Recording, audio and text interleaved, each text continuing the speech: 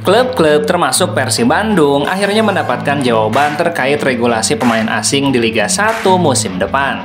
Persib nampaknya akan memaksimalkan regulasi penggunaan pemain asing di kompetisi Liga 1 musim nanti. Hal itu disampaikan langsung oleh salah seorang petinggi Persib, Teddy Cahyono, pada Senin 15 Mei. Sesuai dengan format regulasi penggunaan pemain asing, PT LIB menerapkan 5 pemain asing non-ASEAN dan satu pemain ASEAN. Sedangkan saat ini Persib memiliki empat pemain asing dengan kategori satu pemain ASEAN dan tiga non-ASEAN. Mereka adalah Daisuke Sato, Nick Wipers, Ciro Alves, dan David Da Silva. Secara otomatis, Persib Bandung belum melengkapi kuota pemain asingnya sebanyak dua pemain. Teddy menegaskan Persib akan memanfaatkan kuota pemain asing tersebut dengan menambah dua pemain asing barunya. Dengan kata lain, Persib memastikan akan mendatangkan dua pemain asing baru, bahkan mungkin lebih jika antara keempat pemain asing Persib ada yang dilepas atau hengkang. Meski akan menambah pemain anyar, Teddy belum bisa memastikan sosok tersebut. Pasalnya saat ini Persib masih belum mendapatkan kata sepakat dengan pemain yang dibidiknya. Ditunggu saja pengumuman resminya tuntasnya.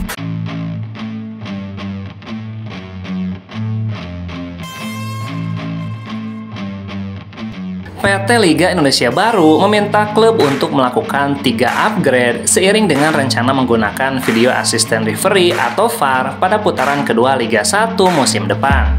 Yang perlu diperbaiki adalah menaikkan kekuatan pencahayaan di stadion menjadi minimal 1200 lux tulis PT LIB dalam surat resminya. Selain itu, setiap klub juga dituntut untuk menerapkan teknologi pencahayaan dan memakai iklan LED di stadion demi untuk mendukung pelaksanaan VAR di paruh musim kedua. PT LIB juga membentuk Departemen VAR yang sudah mulai bekerja sebagai langkah awal proses implementasi penggunaan VAR sesuai dengan panduan dari FIFA.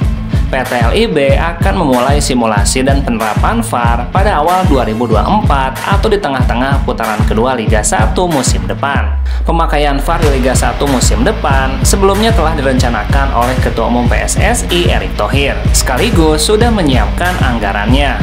Kami mendorong kalau bisa VAR diterapkan di musim ini, tapi di periode berikutnya setelah Desember 2023 karena perlu pelatihan dan negosiasi. Itu juga ada uangnya tuntasnya.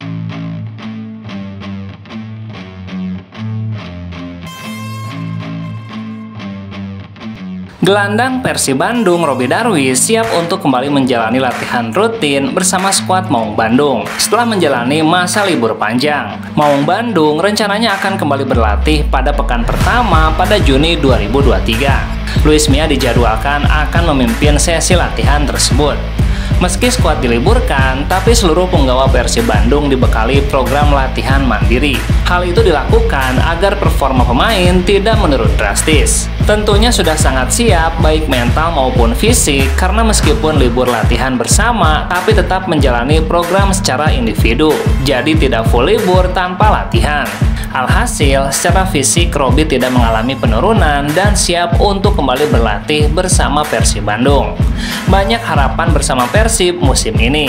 Saya akan berusaha lebih baik lagi dan mempersiapkan dengan baik supaya musim depan bisa memberikan yang terbaik tuntasnya.